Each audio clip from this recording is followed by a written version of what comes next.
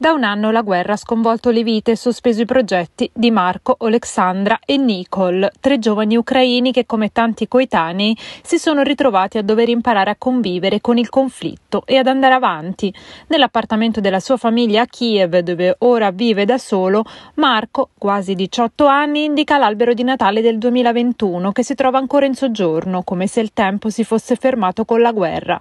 Ha lasciato Kiev il 14 febbraio 2022, dieci giorni giorni prima dell'inizio dell'invasione russa per andare a Leopoli nell'Ovest, poi in Europa, ma da giugno è tornato a casa. All'improvviso mi sono ritrovato solo in una città dove avevo vissuto tutta la vita, racconta. Mi sono sentito così isolato, mi sembrava di non conoscere nessuno perché i miei compagni di classe non c'erano più. Alcuni di loro sono ancora in Europa, pochi sono tornati.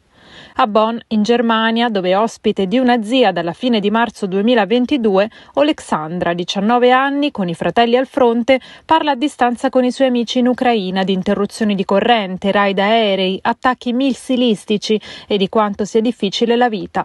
La sua è cambiata profondamente. Fino al 24 febbraio tutto andava come previsto. Volevo studiare legge, dice. Ora non ho più questa possibilità. Spero davvero che la guerra finisca nei prossimi sei mesi o un anno e che io possa riprendere i miei studi perché voglio finire l'università. Anche Nicole, 22 anni, sogna di tornare a casa sua a Mariupol, la città portuale in gran parte distrutta da mesi di assedio russo. Laureata in relazioni internazionali e disoccupata, vive con la sorella a Kiev. Sua madre è morta nell'ospedale di Zaporizhia.